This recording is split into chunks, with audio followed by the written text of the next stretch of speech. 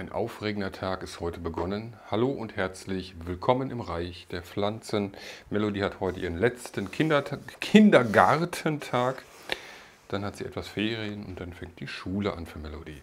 So, okay, ist aufregend, ganz klarer Fall. Ne? Solche Sachen erlebt man ja nun nicht jeden Tag. So, wir starten heute mit der Alocasia amazonica Polly die also richtig fest drin steht im Substrat, in keinster Weise rumzickt. Wunderschöne Wurzeln ausgebildet. Äh, warum? Schauen wir uns das Schätzchen jetzt näher an, weil es so cool gewachsen ist. Nein, natürlich nicht.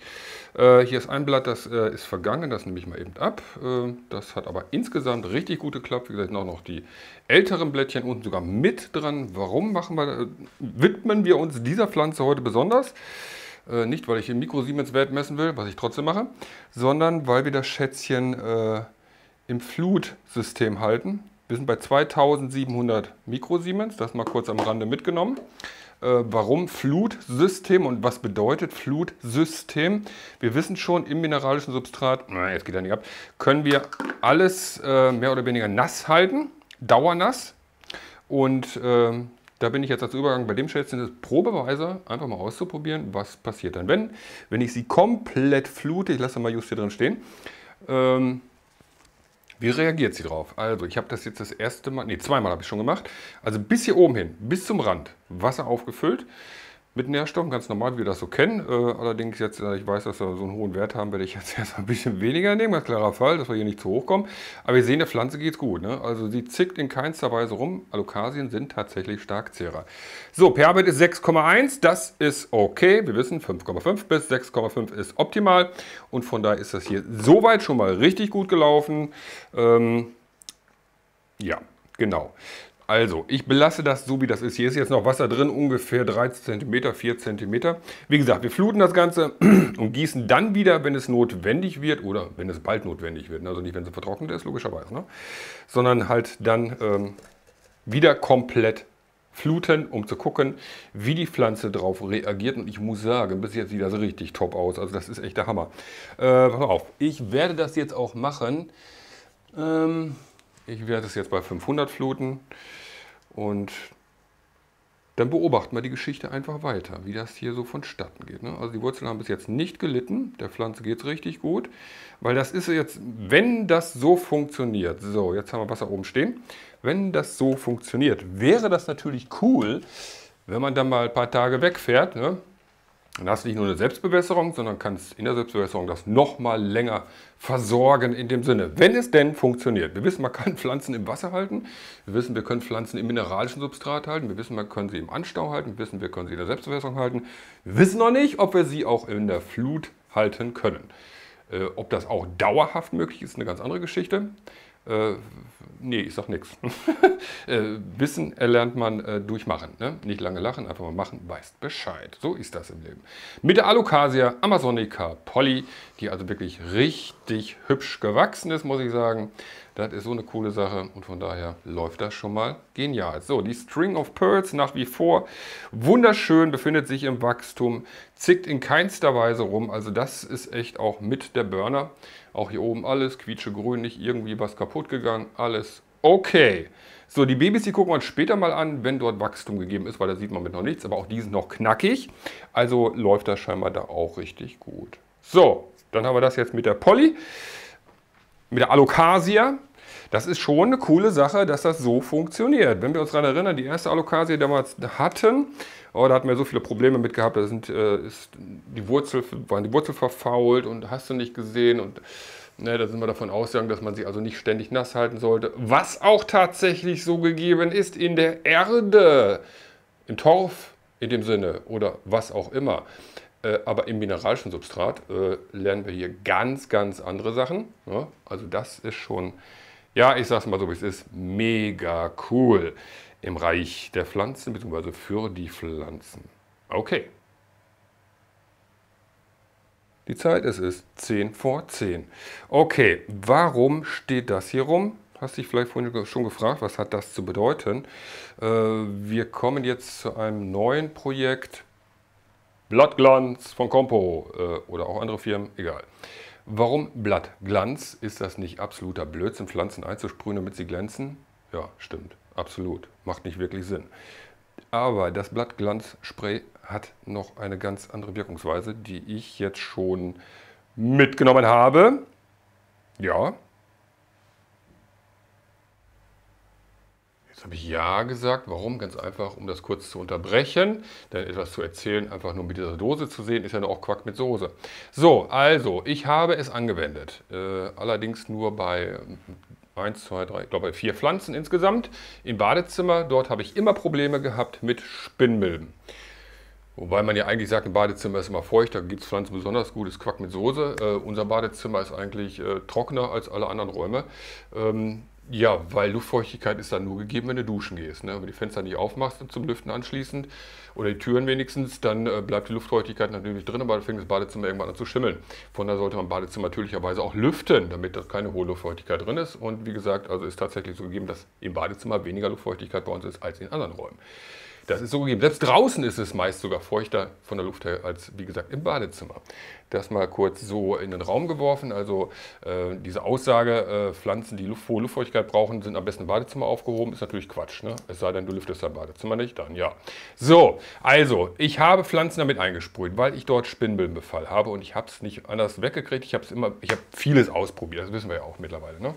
Also von äh, biologischen Sachen, also Nützlingen, ähm, bis hin zum Fliegenspray, bis hin zum ADAP-Spray gegen Schädlinge. Und äh, die Wirkung ist da bei diesen Spritzmitteln oder Sprühmitteln in dem Sinne, aber nicht dauerhaft gegeben. Also man kann kurzfristig tatsächlich eingreifen damit. Das sollte man aber kontinuierlich wiederholen, die so zwei, dreimal. Aber du bekommst immer wieder Schädlinge, weil die kommen immer wieder. Das ist nun mal so. Ne? Selbst wenn die Pflanzen im Haus sind, sind sie nicht abgeschottet. Es kommt immer was rein. Entweder durch Fenster, durch Kleidung, wie auch immer. Ne? Das ist tatsächlich so gegeben. So, und ich habe jetzt Pflanzen mit Blattglanzspray eingesprüht. Wenn was kaputt geht, ist mir egal, ich wollte es wissen. Und äh, ich sage so, äh, anfangs schien es so zu sein, dass die Pflanzen nicht so gut ging. Ähm, denn bedingt dadurch, dass die Pflanzen gelitten haben durch die Saugtätigkeit äh, der Insektien, ne, ähm, kam es natürlich zu Schadbildern an den Pflanzen. Und diese haben sich natürlich ausgeprägt durch das Blattglanzspray. Im Nachhinein muss ich aber sagen, äh, dass es cool gewirkt hat, richtig gut gewirkt hat und nachhaltig gewirkt hat. Denn äh, dieses, äh, ich sag mal, die Inhaltsstoffe, die drin sind, die bleiben auf den Blättern und dann haben die Spinnmilben keinen Zutritt mehr zu den Blättern in dem Sinne, um dort irgendwie saugen zu können. Das gefällt ihnen einfach nicht darauf und sie sind nicht wiedergekommen. Ja, ich habe sie auch nicht abgeduscht oder dergleichen. Wie gesagt, komplett eingesprüht das Ganze, von unten, von oben, jedes einzelne Blatt. Und ich muss sagen, die Wirkungsweise ist tatsächlich gegeben. Zumindest bei mir jetzt so. Hast du Erfahrung damit? Hast du deine Pflanzen schon mal Blattglanzspray angesprüht, obwohl man ja eigentlich sagt, ach, das ist doch nur Quack mit Soße, ne? Muss Blätter nicht einsprühen, damit sie glänzen. Ähm, ja, also mega coole Sache, muss ich sagen. Äh, ich werde da jetzt ein paar Sachen mehr mit ausprobieren. Ich hoffe, dass ich noch ein paar Pflanzen finde, die Spinnmilben haben, äh, denn das Blattglanzspray ist nicht für alle Pflanzen geeignet. Ganz, ganz wichtig zu wissen. Ne? Also muss ich da erstmal ausprobieren, welche Pflanzen vertragen das tatsächlich, welche nicht. Wir können davon ausgehen, dass dickblättrige Pflanzen, so wie die Alocasia hier, das verträgt. Hat sie auch, im Badezimmer ich auch eine stehende große, auch die habe ich damit eingesprüht, der war das ziemlich schnuppe. Ich habe einen Farren sogar stehen im Badezimmer, den habe ich damit eingesprüht, wo ich anfangs dachte, hm, ob da nicht die ganzen Blätter verkleben und das nicht funktioniert interessiert dich auch nicht. Wächst einfach ganz normal weiter. Genauso wie die Calatheas, die dort stehen, auch die wachsen fröhlich munter weiter. Ja, und wie gesagt, äh, die Spinnböden sind bis heute nicht wieder aufgetreten, obwohl ein ganz starker Befall dort gegeben war. Also alle Blattadern, Ränder, in dem Sinne hier, alles Achseln und überall war Spinnengewebe dran und hast du nicht gesehen. Ne? So, und ja, die Klamotten ja auch so groß sind, dass ich nicht ständig unter der Dusche stellen kann, was natürlich die allerbeste erste Variante ist bei solch, bei solch einem Befall. Abduschen, ne? aber nicht, bitte nicht heiß, sondern etwas weniger als handwarm, aber auch nicht eiskalt. Das ist so die erste Maßnahme, die man ergreifen sollte. Aber wie gesagt, wenn du viele Pflanzen hast, die groß sind, die kannst du ja gar nicht mehr in eine Dusche packen oder ins, in eine Badewanne oder sonst wo. Ne? Das, die kannst du nur vor Ort in dem Sinne abduschen. Und das ist ja nicht immer so einfach. Ne? Von daher, ja, okay, da wollen wir mal gucken, wie das dann mit dem Blattglanzspray weitergeht. Wie gesagt, schreibt mir gerne eure Erfahrungen damit in die Kommentare. Also dickblättrige Pflanzen gehe ich von aus, sollte überhaupt kein Problem sein. Bei dünnblättrigen Pflanzen oder stark behaarten Pflanzen, da könnte es unter Umständen, was ich aber noch nicht weiß, also das äh, möchte ich noch nicht sagen, behaupten, sondern das ist äh, die Theorie jetzt erstmal. Ne? Ein bisschen der Theorie und Praxis aber auch wieder was ganz anderes, haben wir auch schon gelernt im Laufe der Zeit. Aber Quatsch, der so viel rum hier. Äh, pass mal auf. Also, wir haben es gestartet. Äh, äh, bei mir hat es erstmal funktioniert. Wie es weitergeht, werden wir dann sehen. Dummerweise habe ich heute Morgen Fehler gemacht. Ich hatte nämlich eine Mango, die hatte Spinnmilben. eine ganz kleine. Und die habe ich dann allerdings so Erste-Hilfemaßnahme gleich mal wieder mit dem Fliegenspray eingesprüht. Auf Chrysanthemenbasis ganz wichtig. Da gibt es auch verschiedene Hersteller, ne, von daher. Okay, das mal jetzt so dann als Start mit dem Blattglanzspray. Und nein, diese Alocasia habe ich noch nicht damit eingesprüht, obwohl sie wunderschön glänzt. Nein, die hat das noch nicht bekommen. Okay. Ich habe es ein bisschen heller gestellt, weil ich muss gleich ranzoomen. Wir kommen noch kurz zur String of Pearls. Hier haben wir diesen Strang ins Zebra reingelegt, ins Feuchte, um mal zu gucken, wie er sich so entwickelt. Also bis jetzt ist alles knackig, muss ich sagen. Und wir können tatsächlich auch schon Wurzelwachstum sehen. Ähm, mal gerade gucken, da unten auch, da, guck mal, das hängt auch schon fest. Ne? Hängt schon fest. Also, coole Sache dass wir das so schon mal sehen können. Auch hier sehen wir tatsächlich schon Wurzeln und also auch wirklich gegeben, dass sie nahe äh, bei den Perlen sind. Ne? Hier direkt unter der Perle, ja hier auch schräg unter der Perle, kannst du bald sagen. Hier kommt auch eine Wurzel raus, sehe ich gerade. Äh, auch hier, also alles nahe der Perle in dem Sinne. Oder der Perlen jetzt. Also das ist schön, dass wir das... Oh, schau, sorry, ne, ne, näher geht nicht. Schön, dass wir das so mitnehmen können. Das Ganze jetzt vier Tage her. Na? Also es geht doch richtig rasant. Und vor allem können wir jetzt auch sehen, dass es nicht überall gleichzeitig passiert in dem Sinne, sondern in bestimmten Abschnittsbereichen in dem Sinne. Das heißt, hier so bei den ganz Älteren, da tut sich noch gar nichts. Ja, und hier fängt das langsam an. Ähm, ja, das ist also, man könnte sagen, der, warte mal, äh, wenn wir jetzt hiervon ausgehen, erste Drittel, zweite Drittel, ne, zweite Drittel ungefähr, da ist also aktiv Wurzelwachstum zu sehen hier im jüngeren Bereich noch nicht. Also das ist schon mal schön, dass wir das heute tatsächlich mitnehmen können, dass das bei den String of Pearls also tatsächlich wunderbar funktioniert. Das ist eine richtig geniale Sache. Okay. Das ist doch sehr interessant, was die String of Pearls uns hier zeigt. Sie ist eigentlich pflegeleicht. Tatsächlich, sie ist wirklich pflegeleicht. Hier haben wir die Schätzchen noch in der Erde. Äh, ich muss nach wie vor nicht gießen. Gießanzeiger von Ceramis ist immer noch blau. Also schon eine Ewigkeit bald her kannst du bald sagen, dass das Schätzchen jetzt hier bei uns ist und wir haben sie noch nicht ein einziges Mal gießen müssen. Wachstum ist tatsächlich jetzt auch gegeben, äh, allerdings nicht so gut wie hier, muss ich ganz klar sagen. Also das ist definitiv so. Hier im Mineralsubstrat läuft das wesentlich besser als hier in der gekauften Variante, in der Erde in dem Sinne. Ich habe da noch nichts dran gemacht, nicht gegossen, nicht gedüngt, gar nichts. Ja, so ist das nun mal. Okay, also wir sehen auch, die Bewurzelung ist einfach auf die Art und Weise. Gibt noch andere Arten. Wir haben ja auch Teilstücke gemacht. Also eine Perle mit links und rechts Stielchen dran in dem Sinne. Ne? Immer so mittig abgetrennt. Und die sehen auch noch knackig aus und ich gehe davon aus, dass das auch laufen wird und dann auch im mineralischen Substrat tatsächlich. Ja, also so zimperlich sind die gar nicht. Sie dürfen halt nur keine nassen Füße haben. Wie viele andere Pflanzen auch keine nassen Füße. ja, im mineralischen Substrat sieht das nun mal anders aus. Und da ist das möglich. Und vor da ist der, die Pflege der Pflanzen allgemein natürlich wesentlich einfacher als in der Erde. In der Erde musst du wirklich einen grünen Daumen haben. Da musst du lernen, die Pflanzen kennenlernen und äh, Wachstum der Pflanzen und wann musst du wieder gießen oder beziehungsweise wie viel Wasser verbraucht die Pflanze überhaupt, bis wieder gegossen werden muss. Wie trocken darf die Erde werden? Wie feucht sollte sie immer sein? Das ist dann so eine Sache. Ne? Deswegen mineralisches Substrat ist das Beste überhaupt. Warum renne ich jetzt weg? Achso, äh, Quack mit Soße. Das wollte ich ja noch angesprochen haben, deswegen war ich auch hier im Bilder eigentlich mit. Das Blattglanzspray. Ich sage mal kurz die Inhaltsstoffe. Hier sind 42,7% Lösungsmittel, 17,3% Mineralöle und jetzt kommt das, was vielleicht nicht so gut ist, 40% Propan-Butan als Treibgas in dem Sinne. Gibt sicher auch andere Möglichkeiten. Äh, also hier ist gar nicht viel drin. Das Wichtigste, Öle. Öle, weiß Bescheid. Ne? Ähm, das dazu. Also rein theoretisch könnte man, wenn man jetzt Mineralöle hätte, die pflanzenverträglich sind, sich auch mit Emulgata sowas selber herstellen und die Pflanzen damit einsprühen. Aber da würde ich erstmal nicht mit rumdoktern. Lass das lieber sein.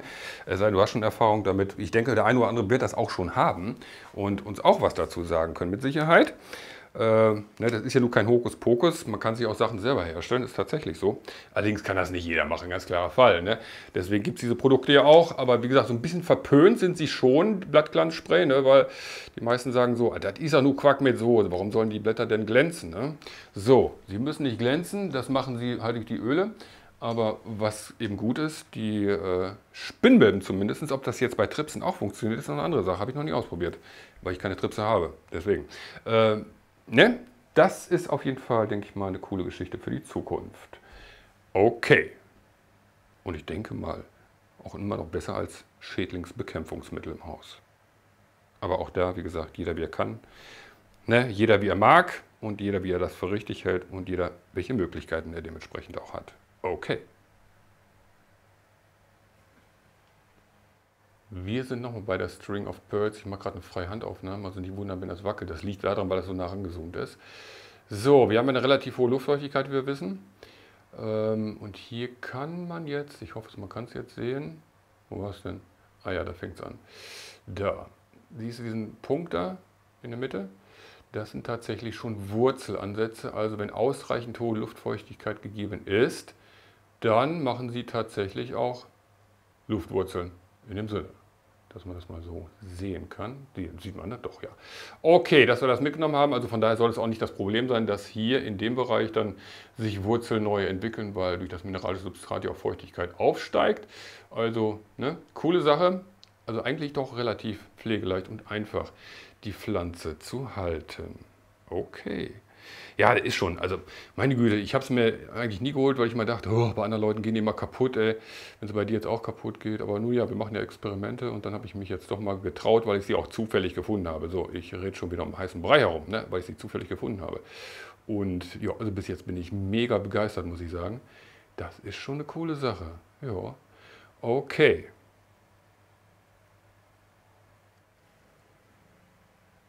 Einer der schönsten Alokasien, bis jetzt finde ich zumindest. Okay, sind alle schön.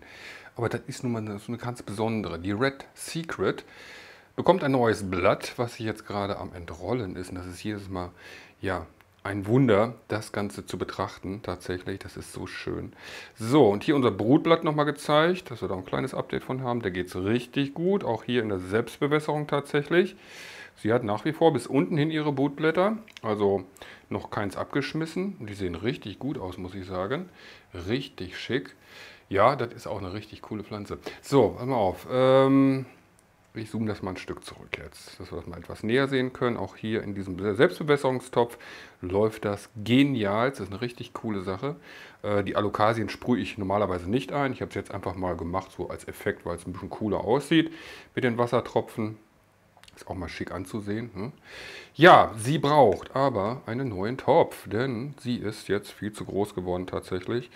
Ich drehe das, damit man den Topf mal sehen kann. Ähm, also der ist jetzt doch, kann man den sehen jetzt? Ist jetzt doch, ja. Ne? Ist ein bisschen klein geworden. Also ja, die sollten wir jetzt langsam mal umtopfen. Aber auch schön zu sehen, dass sie doch eine recht lange Zeit damit auskommen. Ich bewege das jetzt hier mal gerade so ein bisschen. Ja, der steht gut fest hier drin. Das ist soweit okay gelaufen. Also es ist auch eine genügsame Pflanze. Ne? Die müssen nicht unbedingt einen riesen Pott haben. Ich meine, wenn wir links sehen, hier die Alocasia amazonica polly, die hat ja auch nicht einen riesen Topf. Ne? Das sind 0,7 oder 0,8 Liter. Also die kann auch noch drin bleiben eine Zeit lang. Das äh, geht ganz gut bis jetzt, muss ich sagen. Ne? Ja, umtopfen werden wir heute allerdings nichts, denn ich habe noch ein paar andere Sachen heute zu tun. Einfach mal so als Update mitgenommen von diesem wunderschönen ja, leuchtendem Blatt. Das ist also wirklich genial anzusehen. Das ist jedes Mal eine Freude, wenn du das siehst. Kannst du mal glauben, ne? Obwohl eigentlich bei jeder Pflanze, wenn sie ein neues Blatt bekommt, Glücksgefühle tatsächlich entstehen. Das ist sowieso, hier im Raum hat man irgendwie bei den Pflanzen ein ganz anderes Erlebnisgefühl tatsächlich. Ne? Da vergisst du außenrum tatsächlich alles. Okay, Monstera Thai Constellation mit ihrem neuen wunderschönen Blatt, das sich heute also komplett entrollt. Richtig hübsch, richtig schöne Zeichnung, nicht zu viel Weißanteil. Das sieht richtig hübsch aus. Ähm, ich zeige es jetzt, weil ich werde die Werte jetzt gleich nochmal messen. Das haben wir gestern noch nicht mitgenommen, wie das dann Tatsache jetzt heute gegeben ist. Das werde ich mal eben machen und dann das Ganze aufschreiben, notieren. Ah, die Thai, die hat schon was Wunderschönes. Die Thai Constellation, ja. Ah, das ist so eine Hammergeschichte. Okay, haben wir gestern gehabt, weiß Bescheid. So ist das manchmal. So, pass mal auf. Wir sind jetzt bei 800 Mikrosiemens per Arbeit 7,5. Per Arbeit ist gestiegen von 7,3 auf 7,5. obwohl wir Osmosewasser dazugegeben haben. Also scheint tatsächlich immer noch eine Reaktion stattzufinden mit dem Urgesteinsmehl hier drin. Äh, haben wir vielleicht doch ein kleines bisschen zu viel reingemacht. Ich denke, wir belassen das. Ich, ich, werde jeden Tag die Wurzeln anschauen, beobachten, ne, solange da nichts braun wird oder so. Sollte das okay sein, äh, also aus Erfahrung heraus vertragen sie sowieso einen höheren pH-Wert, die Monsteras. Vielleicht will sie das tatsächlich sogar. Ne? Also von daher belasse ich das jetzt erstmal so. Und werde das, wie gesagt, ich werde jeden Tag nachmessen und gucken, was hier Tatsache gegeben ist. Und wenn eine Veränderung stattfindet, so wie sie es jetzt gegeben haben, äh, dann äh, könnt ihr das natürlich mitnehmen, ganz klarer Fall. Nichtsdestotrotz sieht das neue Blatt richtig gut aus, muss ich sagen. Ne, das zickt in keinster Weise herum. Naja, mal gucken, was wir aus dem Projekt dann noch lernen werden. Ich äh, ziehe mich mal kurz zurück, sammle mich mal. Aber wir haben noch so viel zu tun, ja auch umzutopfen noch, einzupflanzen in dem Sinne auch noch. Wir haben ja ganz viele neue Babys, ne? die müssen auch langsam mal eingepflanzt werden. Aber eins nach dem anderen, ne? eins nach dem anderen. Und dann sehen wir mal, was wir gleich noch machen. Ich gucke mal ein bisschen in die Runde. Ja, also, ich würde sagen, bis jetzt sieht das ganz gut aus. Ne? Also, es gibt so von der Pflanze her nichts zu meckern. Wurzeln sehen auch noch okay aus. Wollte mal eine Zeitrafferaufnahme machen. Okay. Heute im Film darf auch ein Philodendron nicht fehlen. Der Philodendron Birkin, die wir vor kurzem abgeschnitten haben, die Köpfe und unterschiedlich dementsprechend zum Bewurzeln vorbereitet. Der Pflanze geht es richtig gut hier. Die steht in dem Wasser, wo damals die Alocasia Black Velvet drin stand. Da haben wir nichts verändert. Wir haben das Schätzchen einfach so reingehangen und jetzt kann man schon was sehen. Ähm, ich würde sagen, das schauen wir uns jetzt ein bisschen näher an, denn das ist also eine richtig coole Geschichte mal wieder hier. Ne? Wie gesagt, wir haben hier nichts verändert an dem Wasser, wir haben das Wasser drin gelassen, einfach das Schätzchen rein und dann dementsprechend ja, bewurzeln lassen, kann man jetzt tatsächlich schon sagen. Ich würde sagen, das schauen wir uns dann jetzt auch etwas näher an hier, weil es mega cool aussieht und in dem Zuge dann auch die anderen, ne? dass wir also ein Update haben, komplett von, dem Philo, von den Philodendren Birkin. Hier sehen wir jetzt alle drei beieinander. Die rechte Variante haben wir gerade schon gesehen. In der Mitte die Variante haben wir direkt ins Substrat hinein, hineingesteckt in dem Sinne als Kopfsteckling. Auch die sieht immer noch gut aus und links das Ganze dann dementsprechend auch im Osmosewasser wieder. Ja, ähm, allerdings ohne Holzkohle oder irgendwas. Das ist schon eine interessante Geschichte, muss ich sagen. Also zum einen, dass es äh, allen drei gut geht erstmal, soweit. Ne? Also die brauchen nicht auf Intensivstation oder so. Also von daher läuft das soweit schon mal ganz gut. Und ich würde sagen, wir schauen uns die Geschichten in dem Sinne jetzt etwas näher an. Fangen wir mit dem Projekt an, wo wir tatsächlich Urgesteinsmittel drin haben und die Holzkohle. Ich ziehe das jetzt mal raus, um euch das Ganze mal etwas näher dazu bringen, zu zeigen. So, pass mal auf. Ich hoffe, das klappt jetzt so einigermaßen. Tada! Ja, klappt sogar wunderbar. Äh, interessanterweise kann man auch hier an dieser alten Wurzel sehen, dass dort lauter weiße kleine Saugwurzeln herauskommen. Ich glaube, das kann man so erkennen. Ne? Ja, das ist übrigens die Wurzel, die etwas oberhalb liegt, also etwas mehr an der Luft. Äh, die andere gegenüberliegend hier, die hängt im Wasser. Die hat noch keine Wurzeln ausgebildet, also Saugwurzeln. Ähm, und es haben sich neue Wurzeln entwickelt, wie ich damals schon sagte. Das Ganze wird im oberen Bereich hier, wo die Blätter im Prinzip sich befinden, wesentlich schneller entwickeln als im unteren Bereich hier. Und das kann man jetzt optisch tatsächlich sehen. Man sieht zwar hier auch kleine weiße Spitzen, aber Hauptwachstum der Wurzeln ist auch tatsächlich auch hier im oberen Bereich. Ne? Also von daher, wenn man so ein Kopfsteckling macht, dann dementsprechend auch relativ tief einpflanzen, ne, sodass die Blattansätze mit im Substrat in der Erde oder wie du es auch immer handhabst, äh, dann mit drin sind, damit die Wurzeln sofort einwachsen können. Das ist ganz wichtig zu wissen. Also nicht nur hier unten den Stiel reinstecken, sondern tatsächlich auch mit Blattansatz, dass wir das heute so augenscheinlich mitnehmen können, wie das Ganze aussieht. Ich muss sagen, es hat also genial geklappt. Inwieweit das jetzt hier mit ähm, der Holzkohle und dem Urgesteinsmehl dann vielleicht nochmal eine Nummer besser. Ich glaube, ich brauche ein anderes anderes Gefäß bald hier. Pass mal auf. Oder ich hole sie einfach nicht mehr raus. Ne? Genau, wir holen sie nicht mehr raus. Lassen sie jetzt einfach mal hier drin. Also man sieht, die Wurzeln sind auch oberhalb, stehen nicht im Wasser, bedingt durch die Luftfeuchtigkeit. Entwickeln sie sich und wandern dann zum Wasser hin. Ja, okay, das zu dem Schätzchen.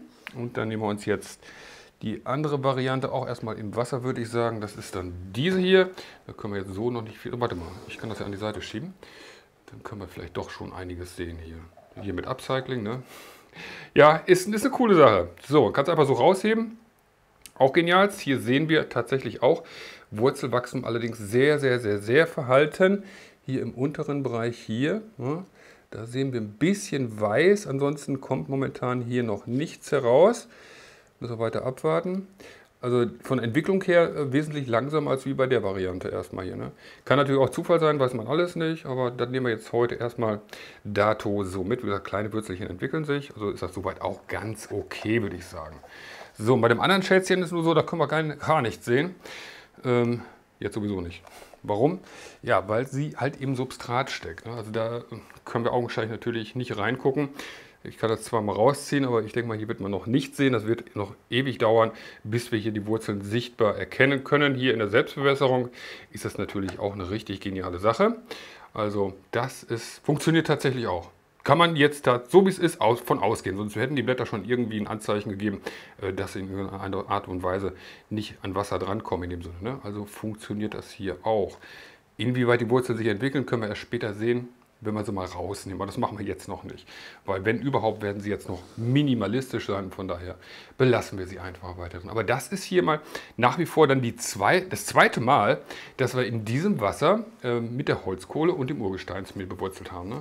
Die Alocasia äh, Black Velvet damals und dann dementsprechend jetzt hier auch tatsächlich den Philodendron Birkin.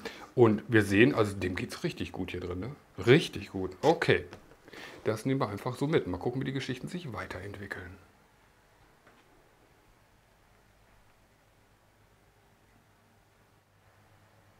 Bei der Monstera hatten wir gesehen, dass der pH-Wert etwas angestiegen ist auf 7,5, von 7,3 auf 7,5. So, bei der Geschichte hier haben wir damals ähm, einen pH-Wert von auch, ja, nicht auch, sondern von 7,9 gehabt am 4.7. und am 15.7. von 7,7. Ne, also auch hier der pH-Wert hoch in dem Sinne, weil man sagt ja 5,5 bis 6,5 ist optimal. Aber wir sehen im Wasser, scheint es doch ein bisschen anders auszusehen und von daher auch das sollten wir natürlich weiter verfolgen, begleiten in dem Sinne, äh, wie das sich so entwickelt. Ich meine, wir sehen ja, es geht ja richtig gut. Wunderschönes Wurzelwachstum, Pflanze knackig, richtig gesund. Also von daher auch hoher pH-Wert heißt nicht unbedingt, dass Pflanzen schlecht gehen muss. Ne? Dann kommt es doch eher in dem Fall auf die Mikrosiemenswerte an, dass sie also nicht zu hoch sind, dass die Pflanzen nicht zu viele Nährstoffe bekommen, denn dann können die Wurzeln unter Umständen leiden. Aber ich sage es mal so, da sind wir jetzt in der Tiefe etwas noch mehr oder weniger am Anfang, bedingt durch die Monstera Thai Constellation etwas intensiviert. Und das jetzt hier so mitgenommen, dass auch hier ein hoher pH-Wert ist, bedingt durch das Urgesteinsmeter drin halt. Ähm, ja, umso mehr Nährstoffe allerdings dazukommen, umso niedriger sollte eigentlich der pH-Wert dann werden. In der Regel ist es aber auch hier, wie wir sehen, abhängig von der Menge des Urgesteinsmehls, das man dazuführt. Ne? Also Pi mal Daumen kann man das dann nicht machen, da müssen wir schon mal gucken, dass wir irgendwann äh, so einen Anhaltspunkt haben, was okay ist oder was nicht okay ist. Denn hier ist Mikrosiemenswert knapp äh, gerade mal bei 200, ne? also von daher ist der pH-Wert hier nochmal einen Tacken höher. So, das, ich weiß, ist ein bisschen viel manchmal. Weiß Bescheid, winke, winke, bis ganz bald hier aus dem Reich der Pflanzen. Es ist nun mal eine Serie Pflanzengeschichten in dem Sinne und von daher lohnt es sich auf jeden Fall, die Experimente weiter zu begleiten, ne? denn wir lernen mit Sicherheit auch in den nächsten, nicht nur Tagen, sondern auch Jahren weiter dazu. Und ja, nicht und, ist so. Ne? Ist halt so. So, oh Mann, aufregender Tag heute, letzter Tag für Melodie. Ich bin mal gespannt, wie die gleich reagiert, wenn ich sie abhole aus dem Kindergarten, weil dann ist die Tür zu und dann bleibt sie zu, die Tür. Ne? Das ist dann, ja, ich habe es die letzten drei Tage bisher angemerkt, dass sie das doch ein bisschen mitnimmt. Aber ist nun mal Abschied, ist Abschied, das ist so. Ne? Aber ähm, die Türen werden schon offen gehalten. Also wir dürfen auch mal zu Besuch kommen, wenn Melodie dann Ferien hat oder so und der Kindergarten offen hat, dann müssen wir uns nur anmelden vorher dann können wir sicherlich auch mal kurzzeitig zu Besuch kommen, dass sie sieht, wo sie damals dann halt so ihr Leben ja, verbracht hat in dem Sinne. Doch eine ganz lange Zeit auch. Ne? Und von daher denke ich mal, ist das für Kinder schon ganz wichtig, wenn sie es möchten, dass sie dann auch äh, mal so kurz zurückkommen können und sagen können, hallo, hier bin ich, mir geht's gut. Ne? Schön, dass ich hier sein konnte, aber jetzt bin ich in der Schule und da geht es mir auch gut. Okay, so, weiß Bescheid. Es geht auf jeden Fall weiter. So. Oh, ich bin aufgeregt, kannst mal glauben, du. Jesus und Maria. Ja, sind immer wieder Veränderungen im Leben, ne? Aber es gibt auch positive Veränderungen. Okay.